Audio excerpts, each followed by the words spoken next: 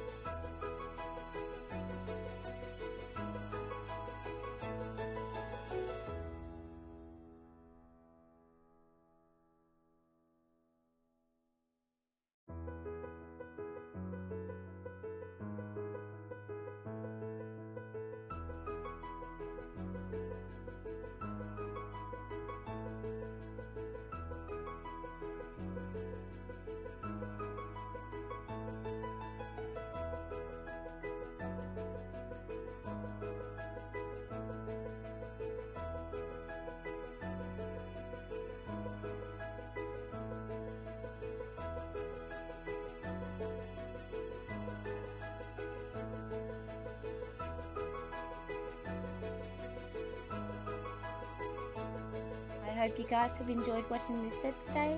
Like, share, comment, subscribe, and all that jazz.